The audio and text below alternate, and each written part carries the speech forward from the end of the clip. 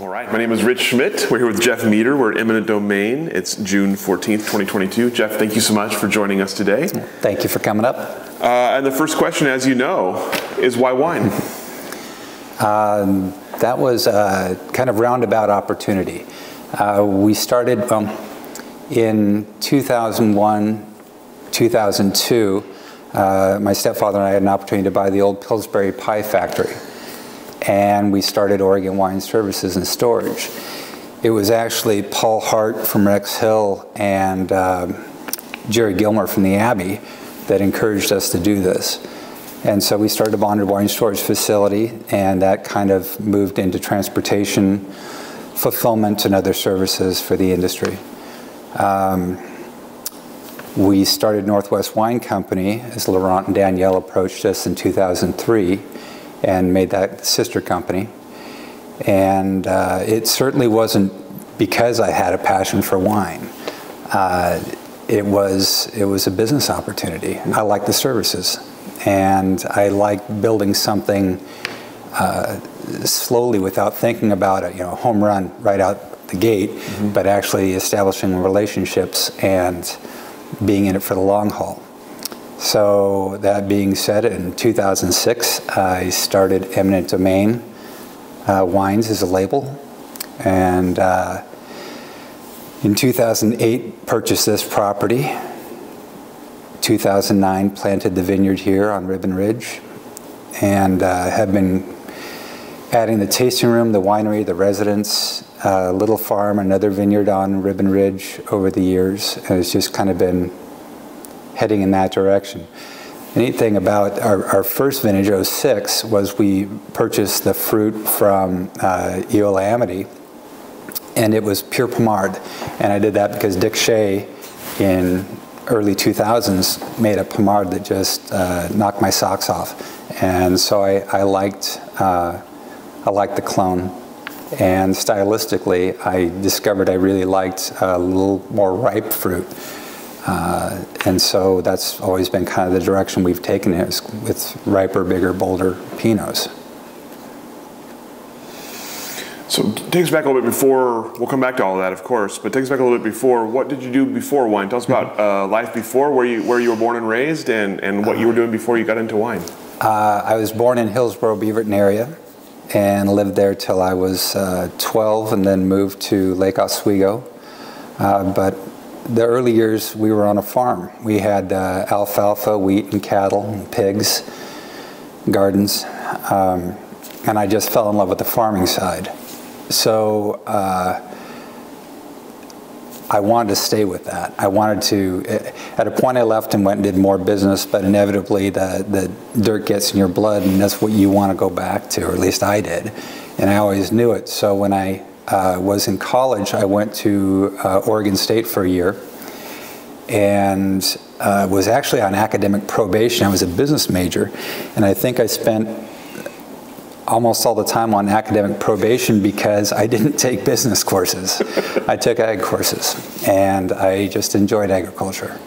Um, it was uh, definitely something that stuck with me and still is. I still, I, I can't help myself but to continue and look at other potential vineyard properties and uh, see if it's feasible to plant a little bit more somewhere else in this AVA or a different AVA. Mm -hmm. um, but uh, yeah. So I know the name eminent domain comes from a real life incident. So tell us about about that incident and and uh, kind of what led you into the, the thought of even a wine business. Um, eminent domain came about in the early 2000s. Uh, I had owned a property with my sister, a commercial office building, a small one over in downtown Portland, around Portland State University and Portland State University was funding the light rail there, the expansion, and in the hopes of uh, adding uh, high density housing, uh, less parking required, having the light rail there, and some retail and, and classrooms. And so when they funded that, they were able to utilize Metro, TriMet, to uh, take our building by literally just wrapping around our building and clipping 13 feet by one foot off the edge and saying it was uh, it was needed. So we lost the property through eminent domain. So that was always uh, that that property was sold and sold taken and reinvested, and that became this property here on Ribbon Ridge. I um, and with that, the label eminent domain came about as just a play on words, adding the E with domain. And I always thought it, it's either going to be loved or hated. Uh, you know, the, the name is uh, obviously tongue in cheek, but it's not so whimsical. I hope that, that people understand that we are definitely taking this seriously. So that's how that came about. So when the take me through the steps of even of, of, the thought of Oregon Wine Service. You mentioned Paul Hart and Jerry Gilmer as being kind of the people pointing you in that direction. At what point did you even become aware of the need for wine storage, or the thought that that could be something you could do? Um, the bonded wine storage part a lot of paperwork to get it up and going, but it made great sense. So Paul had sat down with John and I and told us about the need in the industry, that there was not adequate storage at the Abbey and the Abbey didn't want to keep expanding.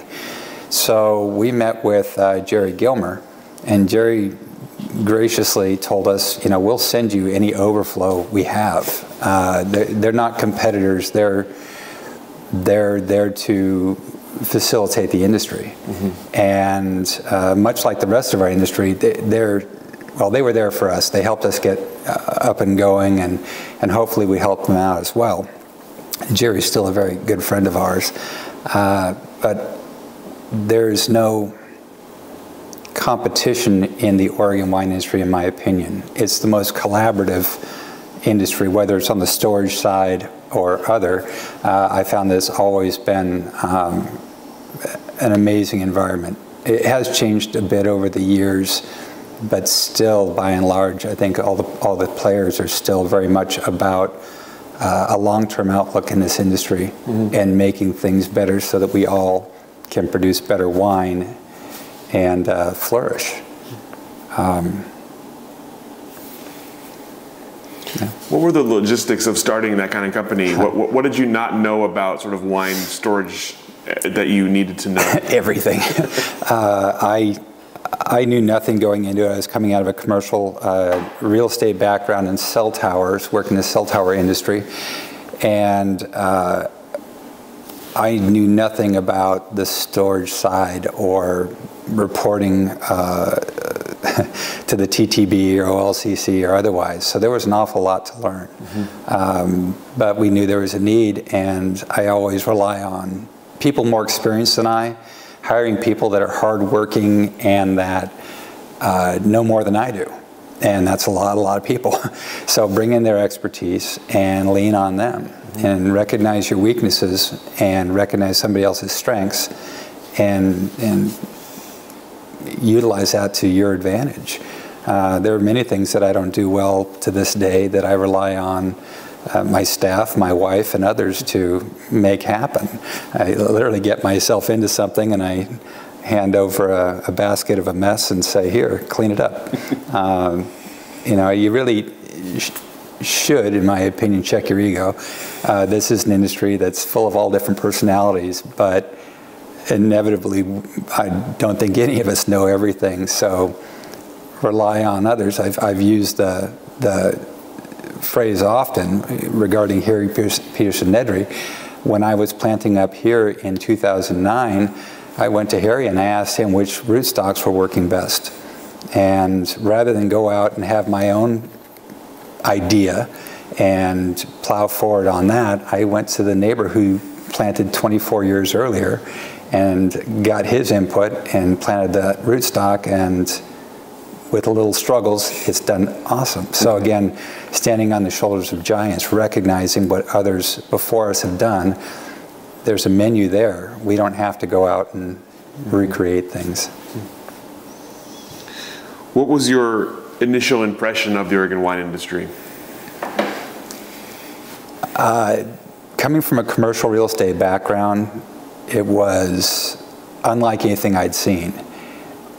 I mean, imagine that you're, you're neighbors that are, are selling the same wines as you at, at similar price points uh, are helping you bring in customers. They're telling you where they made mistakes. Um, again, it's, it's just a collaboration. And I've, I've not heard of many industries that, that can compare to this. It is uh, unlike anything else. And still to this day, I'll go out and have beers with some good friends, and they're always generous with, with uh, information as I try to be as well. So what's the process for you then from, you're, you're, you're in the wine industry now, but doing, doing storage and facilitation, what makes you take the next step and start a label?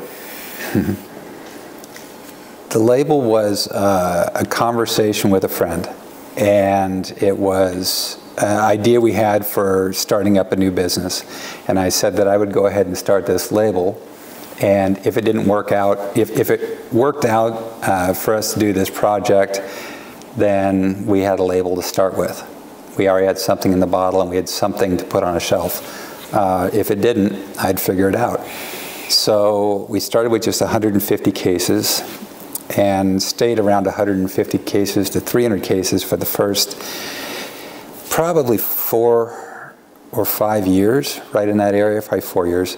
And uh, my wife or I would literally go into Portland and throw a couple cases in the back of the car and start sampling restaurants when they were willing to see us.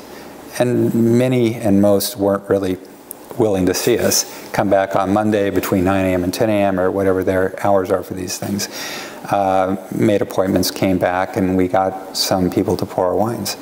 Um, and just uh, that allowed us to keep going. But there was a point where we seriously considered being done with the, the label and uh, selling fruit, and everything just kind of went the other way. Mm -hmm. Instead of instead of backing away and and all the lifestyle, as busy as it is, is um, it's a great it's a it's for me uh, it's an amazing blend it, it lets me do business, it lets me do farming, it lets me do marketing, it lets me see people. I, I get, you know, when we started this, my wife and I were so busy, we said, we just don't have any room for any more friends. No more friends, you know. and lo and behold, we've made so many friends out of the tasting room, and it just keeps going. It's like, uh, so, yeah, I can't imagine ever leaving it. Uh, and, and that being said, I don't really want to grow it much either. Mm -hmm. We're sitting around 3,000 cases, 2,500, 3,000 annually, and I don't have any desire to grow the label to 10,000 cases or be heavily reliant on distribution. We're 99% sold out of the tasting room and online. Uh, a fraction of 1% goes to Oregon distribution. And to to be beholden to the distributors, to rely on them to do the sales and all, and sell at FOB doesn't really. I'd, I'd like to venture into it again a little bit, maybe, but you know, select markets that I want to work, like Hawaii. I may never sell a bottle, but doggone it, I work that market like hell. um, so I, I've had a couple of jobs where I've worked in a cubicle and I've decided I would never go back to that. And so for me, I get time on the tractor. Uh, I get, I used to have time with the pigs and the chickens. Uh, still have time to just be outside and do the things I want to do.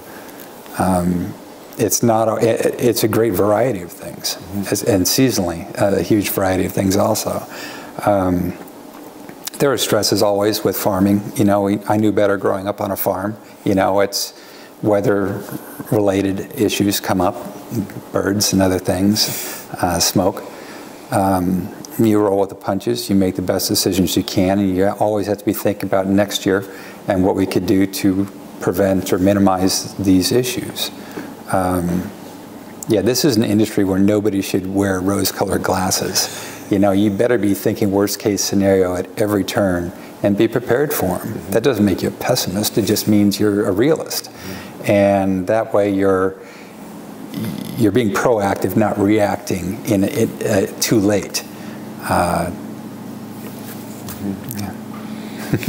when you started the label, uh, you mentioned you you kind of had a you had a wine that had kind of opened your eyes to, to Pommard, specifically Pinot Noir.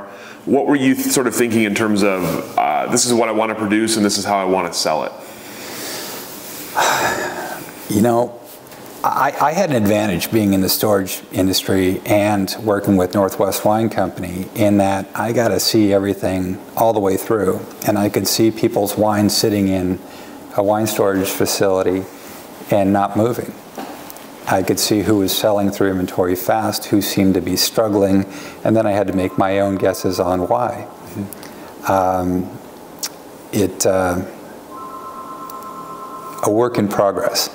I, I, I didn't really have a, uh, perhaps a really clear idea on the marketing, hence my wife and I walking through Portland and selling wine door to door. Um, but uh, it took shape over a few years and it just kind of, like I say, it eventually happened. The tasting room was really a big deal to me. Putting this up here in, in the most beautiful setting, um, I think that people really react to being around the vines and seeing what we do. And they'll oftentimes see me on a tractor. And uh, I think they get the, the reality of what we do isn't all, um, you know, sitting around drinking wine. It's actually an awful lot of hard work. And we live above the winery. We are working. You're always working. Mm-hmm. You're always available. And uh, that may be something I'd reconsider if I had this all to do over again, is that I, I don't think I'd make myself quite as available. That's the next chapter of life. I'll, I'll figure that out. Uh, another thing I wouldn't do is I, I wouldn't uh, I wouldn't have named this winery after an unfortunate instance in my life because I get to relive the story of Eminent Domain and how it happened every week and it's uh, as one person I talked to pointed out, it's like yeah, you, it's almost like you you chose the, one of your worst experiences and then you, you put it out there so you could relive it like bitter divorce mm-hmm. or you know a horrible disease. It's like yeah, that's that probably wasn't the smartest thing. Tell me about your your first wines uh, produced under the label, uh, how you thought they compared and fared, and, and what you sort of saw as the what did the the Pinot Noir market look like at that point to you? Uh, well, it was 2006 vintage. Back then, it was uh, just back then, uh, 15 years ago. It was very different. Uh, we selling direct to consumer meant selling to our friends and family. Um, so it was going largely retail and not having uh, any wholesalers, distributors, or anything. So um, the first wines we made were, like I said, stylistically just what I wanted. I wanted something that I, would gotten some some feedback from my friends that are uh, like-minded to me at this time, where I didn't know a lot about wine, and I didn't like the leaner and greener Pinots. I liked ripe Pinot, so that's why I leaned on Pommard immediately. Was something that was a bit bigger. Uh, one of my friends compared uh, the lighter Pinots to sweat socks, and I thought that was offensive, but uh, I understood where they were coming from. They liked Cabernet, and so they were having a hard time getting their head around a Pinot. Uh, I kind of wondered how many of the people, if they didn't, if they didn't know Pinots, would gravitate that way. So, um, yeah, Pommard was kind of it, and then from there, it's you know Wadenswil, and and then you can go into all kinds of uh, other uh, brighter red fruits to blend. Uh, that's been fun learning. I am not a winemaker. Uh, I rely on currently Drew Voigt is uh, my uh, consulting winemaker, making the wine here. Um, and I rely on his expertise. If I were to do it, it would be a disaster. I have an eclectic taste. I would do something funky and barnyardy and, and something that people would scratch their head about. And I'm sure some odd wine cult out there would, would wrap their hands around it. But beyond that, the vast majority of the people would probably not and rightfully not want to drink it. Uh, so I rely, as I said, I rely on people that know more than I do. Whether it's uh, helping me manage the wine club, or uh, one of our rental homes, uh, VRBOs, or uh, wine production and farming, uh, we use a consulting uh, vineyard managers that come in and, and help us make decisions in the vineyard. Um, I'm getting a better knowledge of these things and able to contribute more and more. Uh, I never want to be the winemaker and I never want to be the vineyard manager. I want to rely on others that are going to classes and staying more up with the latest and greatest. Mm-hmm. Um, I don't learn, something I discovered as I'm in my late 50s now, is that I don't learn by reading. I don't retain things, I learn by doing. So it's a very difficult way to uh, learn about winemaking if you can't retain what you just read in a book. But if I get in the winery and I work the harvest and I pay attention, I can glean little bits here and there and it sticks. But again, I have to be hands-on to make that happen. And that goes for all of my business practices is to, to read something uh, isn't, isn't how I retain things. I wish I'd have known that when I was younger. Um, but uh, anyway, I made it through college barely. Because that might have kept you off of academic probation had you, had yeah, you known exactly. yeah. so you mentioned uh, the big step, the big kind of step for you, the, the, the, property, the tasting room, all the things that came up. So tell me about this space. How did you find it? What about it? Why, why did you choose it? And what did you kind of, did you foresee it turning into what it's turned into? I, I had been looking for years and things are always out of my price range or I didn't have the money to develop them. I could afford the property, but I couldn't afford to develop it, so I didn't know what to do. This property was owned by Isabel uh, DuPont, mm -hmm. and uh, she sold it to me. It was, uh, at the time, an old double wide in a metal barn, um, and uh, a bunch of straw, a bunch of hay around it, and that was about it. it uh, I immediately set out to plant it and uh, we did just that. It was, the views are insanely beautiful, and the land, knowing what Harry had done next door, planting in the early 80s up here at Ridgecrest, you knew the fruit was amazing. It was, it was absolutely amazing. So uh, again, Harry, Harry did the heavy lifting. Uh, among others out here, obviously. But as far as my neighbors, you know, he showed what could be done, and it was kind of uh, a no-brainer to, to, see what this property could do. We did purchase another uh, 12 acres down the road here on Ribbon Ridge, and uh, if it weren't for frost this year, we'd be having a harvest, but uh, it'll be very light this year on fourth leaf. Um, this building, or these buildings, were, I wanted to keep something that was very much Oregon and uh, I like the industrial look, a lot of uh, iron and concrete and some wood. Uh, I, the art on the walls is Old Town Portland. Mm -hmm.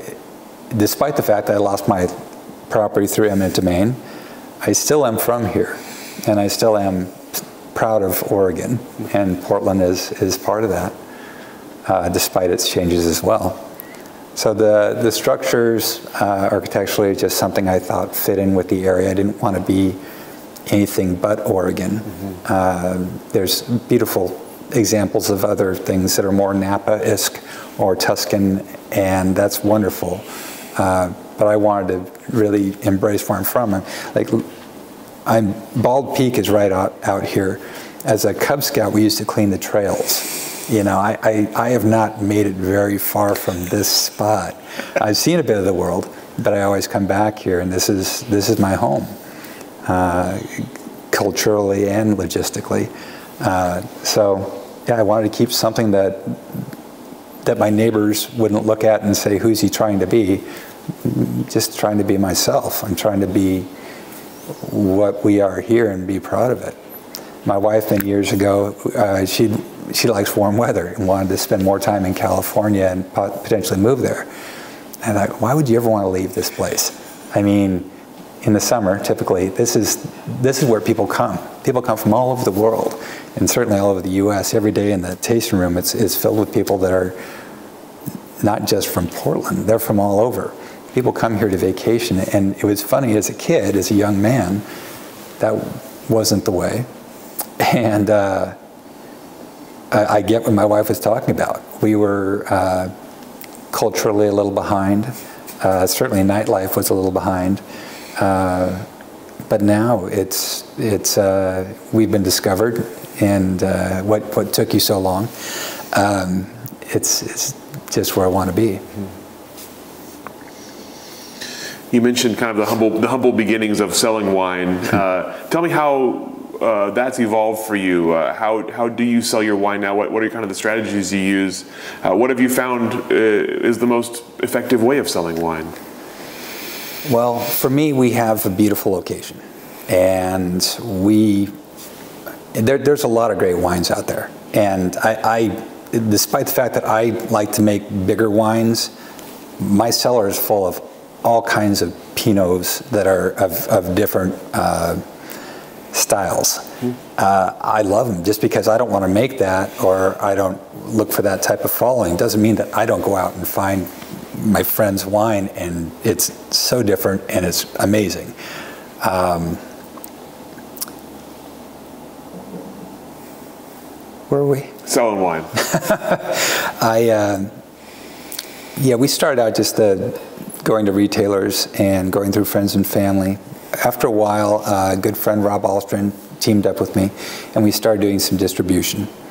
And because of the 2013 vintage, uh, the, the phone stopped ringing. You couldn't, you couldn't get a call back. And uh, that was disheartening. That was the part I didn't really understand.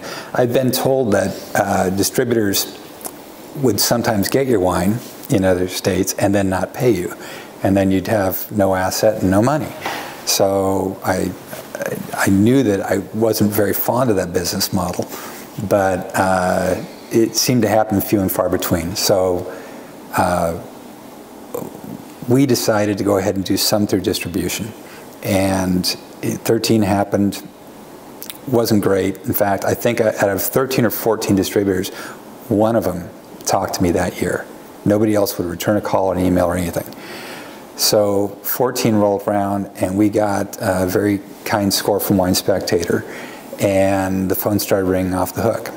And I told everybody, no, we don't have a license in your state to sell. Well, we'll pay for your license. No, I don't want to do that anymore. This is, this is a model that didn't work. It's kind of a two-way street. And now that I have a product that you'd love to sell, I, I don't have a lot of it, and I don't, I don't need to do that. So um, we just decided to stay with direct-to-consumer, uh, by and large. Uh, price points are, I'd say, fairly average for the industry. Um, packaging has gotten horribly expensive.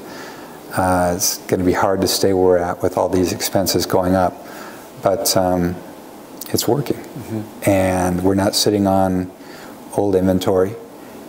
Um, yeah, a lot to be proud of. With all of the, the development in the area, of course, and all the vineyards and all the all the wineries up here and all the tasting rooms up here, um, you mentioned kind of you make a, a different style of wine. You, are aiming for a different style of wine. Do you find that consumers notice that? Are they attracted to your wine because it's a little bit different, or do you feel like do you find yourself um, sort of explaining what makes you special? um, I uh, unapologetically explain why I do what I do. Uh,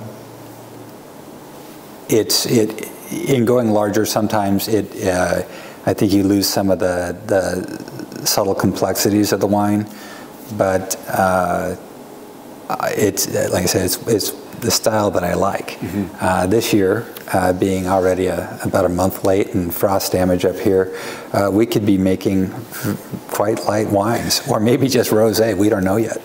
Um, but uh, it's nature first. We don't want to over manipulate anything. And if, if we had the ability to hang long, uh, we would. Mm -hmm. We would ripen them up as much as possible, get them to shrivel. Uh, but this year, that's probably not reality. And then even if we could hang long, the birds will probably be dropping down from Canada and and eating what we have. So uh, you know, look at nature, look at the what the harvest gives us. Mm -hmm.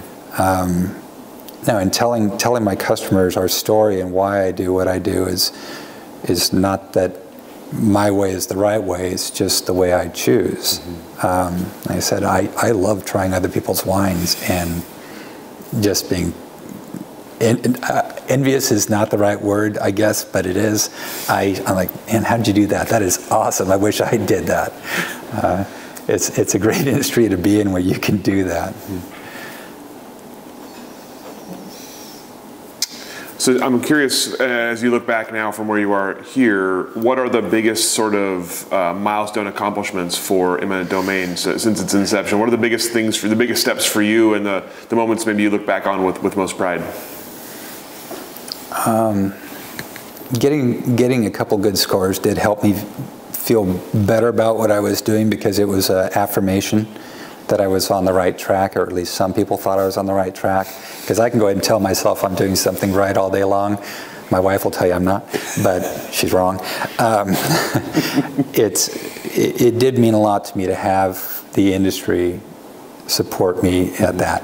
Uh, and that being said, my friends in the industry, um, having, having their affirmation, having their support is, is huge.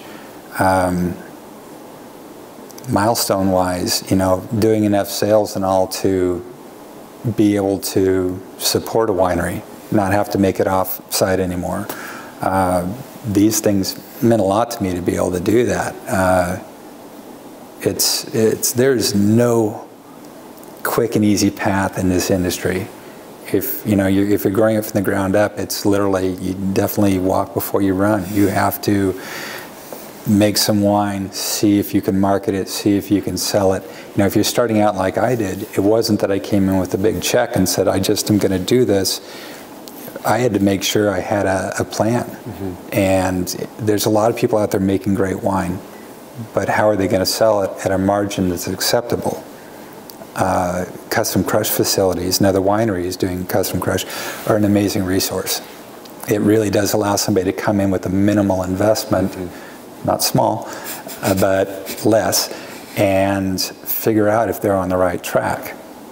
And uh, figure out their style, figure out their marketing, and see if they can grow it. Mm-hmm. But to come out here and buy some land and, and plant grapes and build a winery before you know, can I sell what I'm making at a price point that makes sense? Uh, I, I, I think that sometimes people are successful in one industry and come out here and think they can just do it all over again. It's, it's a great lifestyle. And uh, if you can afford to do that, I highly recommend it. But most of us can't. You have to make, uh, you have to make ends meet. Mm-hmm. And this is a very expensive industry to make ends meet in. The equipment, the tractors, everything we do is just uh, is constant. Mm-hmm. And maintenance. Yeah. So I'll talk about uh, 2020 for a minute. Uh, obviously, the last that, that the, the, beginning of a couple of interesting we, years. We don't have to if you don't want to. we can just Let's go to 21. 20, 20, and then we can just skip 22 too. Uh, so uh, I'm curious about in 2020 uh, with the, both the pandemic uh, as, a, as a place you're, you're, you're selling your wine direct to consumer. Obviously, that to change those kinds of changes, and then of course the 2020 harvest on the other end of it. Tell me about sort of the the decisions you had to make that year, the the impact of those decisions, and sort of how you came out the other side uh, of of 2020 and of that harvest. Yeah, 2020 was quite the surprise.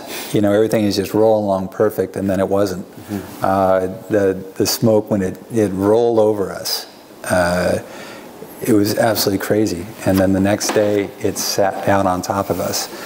Uh, so we do purchase fruit from Eola-Amity, uh, from McMinnville AVA, and Chehalem, and all of them handled it differently.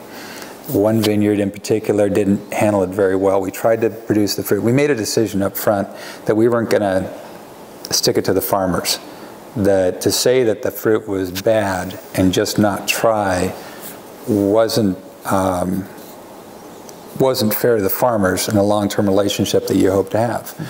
So we, I heard stories that people decided to do away with the 2020 vintage without doing any trials or anything. Literally, because they were so sure it was going to be bad and because they had excess inventory and they were able to go ahead and write it out on old inventory.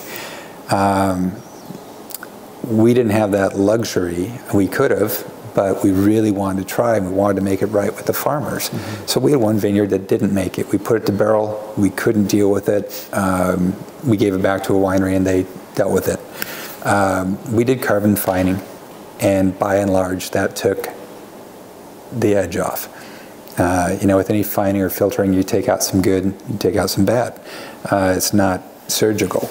And in this case, 2020s throughout, I can try them, and most of them you can tell they're 2020s. Um, not all, but most all. Uh, our wines, by and large, are very good. Um, but we don't have that much of it. We, because we had to do away with some fruit, we were already on a, a fairly small fruit set, we did uh, about 45% less than normal.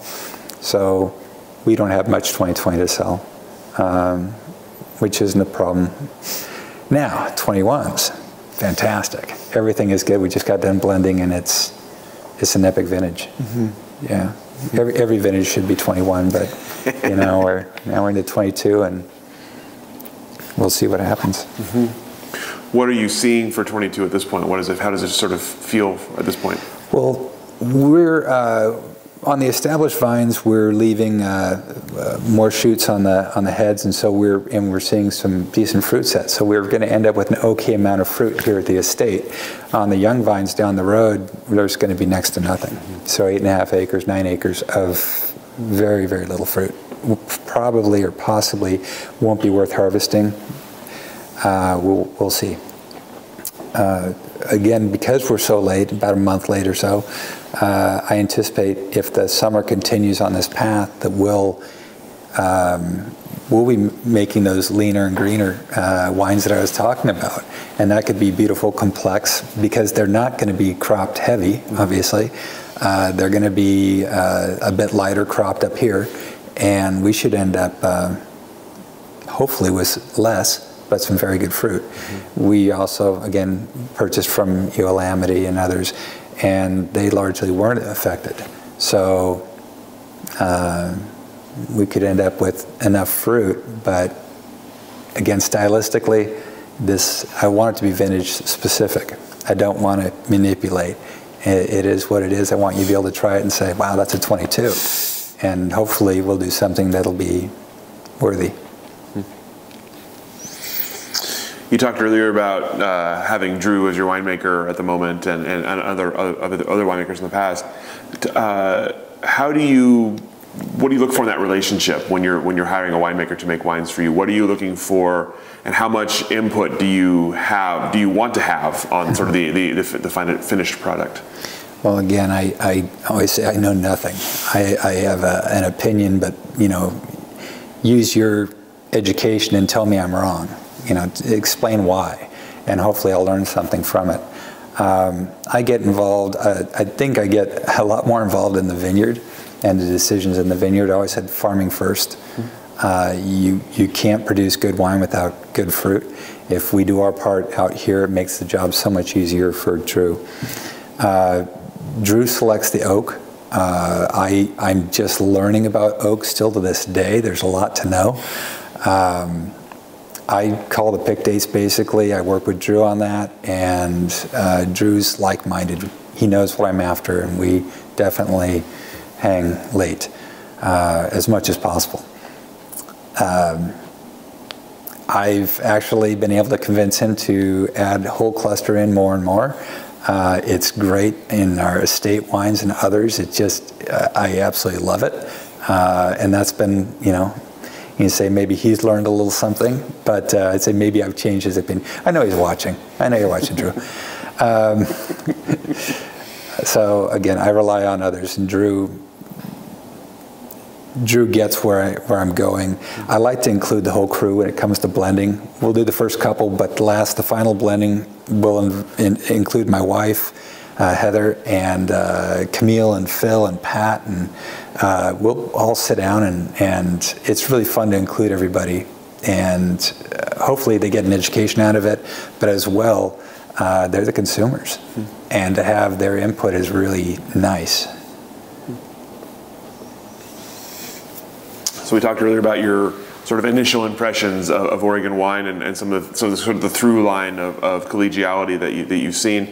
What are the biggest changes you've seen uh, in the industry since becoming a part of it? Uh, well, there's a lot more of us. Um, used to be in the early days, in 02, 03, I'd walk through the, the winery or the, the storage facility and I, I, I knew everybody's wines. I knew who the winemaker was, I knew who the owner was, I mean everybody, and that went for years. And then all of a sudden, second labels started popping up. And that, that was an amazing event in itself to see this, this happen. And now it's just uh, a lot more wineries popping up, a lot more vineyards. Um, as always, people from all different backgrounds. It's not just people that have come out of UC Davis that had this vision and, and they're following this, this path. It's, it's people that made their money in other industries and are coming in with a different perspective.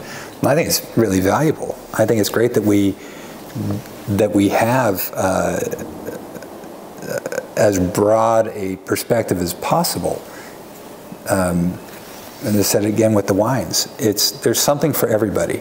And because I chose this style of building and, and architecture and this style of wine, I'm grateful that there are all different wines out there because there's all different customers. We have people that come up here that may find my wines, you know, not to their liking, and then we have people that come up and, and uh, love it. And I, we have to figure out then to uh, love to recommend other wineries. So you kind of get a feel for where people are at, what they're gravitating to, and, and they say, do you have any recommendations? Well, if you like this, why don't you go over here to Fairsinger, or Colene Clemens or Brickhouse or wherever. There's all kinds of great wineries out here. And I got an amazing list of neighbors and maybe down the valley to Salem or whatever, but depending on how long they're here and what they can get to, it's really nice to kind of give that input. Um, well, kind of on the role of, or excuse me, on the topic of your neighbors, obviously this area has grown up a lot uh, even since you've been here. So tell me, tell me about that, uh, the changes in Ribbon Ridge and, and the area, and what uh, do you see happening next here?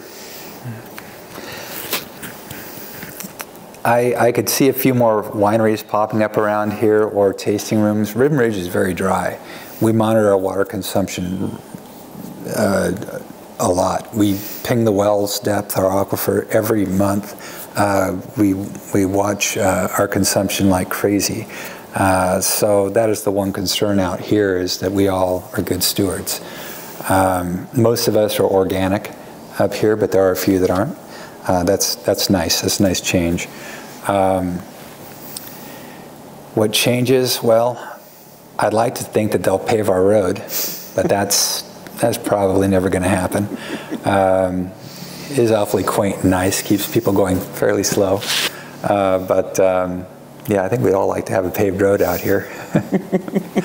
uh, I, personally, I'd like to see more tasting rooms. I, I like seeing more variety, and we've got some distilleries out here now. We've got two distilleries out here on Ribbon Ridge. Um, nice change. Again, something for everybody. Um, I like seeing the better, uh, nicer, nicer restaurants in town, and uh, yeah, very positive changes. Uh, as far as the people, everybody's been so pleasant. I, I can't think of uh, any negative uh, as far as the new people coming in, from the largest to the smallest. Um, yeah, something for everybody. Something for everybody. Uh, what about as you look ahead for Oregon wine on a, on a larger scale? What does the next, say, decade of Oregon wine look like from your perspective? I think a lot of it's going to, well, obviously do with the economy right now. We've got a lot of changes going on, but the, the climate, uh, you know, last year was, was so hot, and uh, the year before was smoke, and this year is rain and frost. Um, yeah, I, I, it really depends on what the climate does. Uh, I don't. I, I'd love to see direct-to-consumer shipping and distribution eased up as far as the restrictive laws. Um, that that's one huge thing that I don't know if it'll ever happen because of lobbyists, but uh, yeah, that would be one of the biggest game changers. Uh, I think tourism out here is just going to continue to grow. You know, the city is moving further and further out, and uh, for for every city, not just just here. Um, I think more and more people just means more and more tourists, and and uh, they're welcome. It's really it's it's fun to add to their trip. So we've got this uh, uh, Airbnb down the road uh, at the other vineyard, and to be able to see people from all over. They come in and they're looking for recommendations on where to have their appointments and what restaurants to go to and is there a good hiking trail and what what's up the gorge. Uh, it's really neat to meet these people and give them a little advice and hopefully steer them towards a good vacation. So what about for your own future as you look ahead? What, what comes next for you and for Eminent Domaine? I would like to work a little less. This is my goal. Last year my goal was to nap more. I failed. I absolutely failed. It was serious. I was gonna I was gonna find a nap like every other day, and it just didn't happen. Uh, I'm old.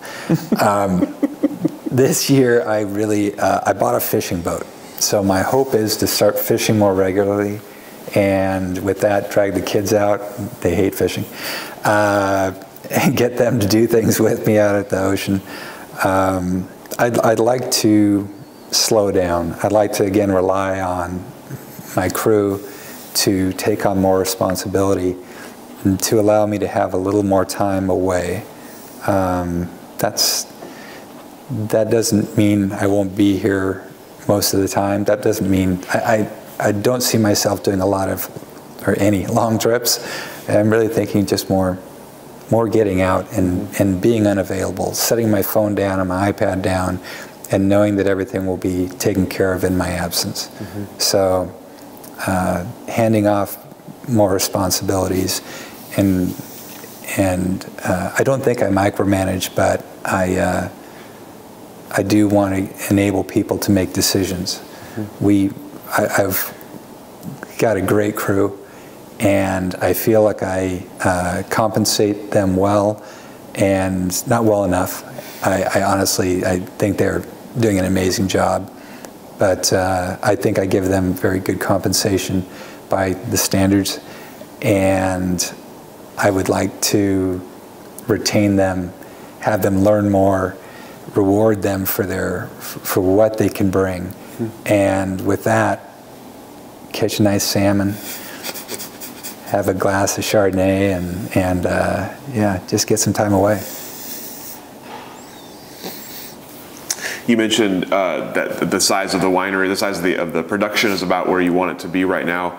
Do you have anything in mind for the, with it comes to the label in terms of, of changing, or, or is this kind of what you want to be going forward? I, I think this is it.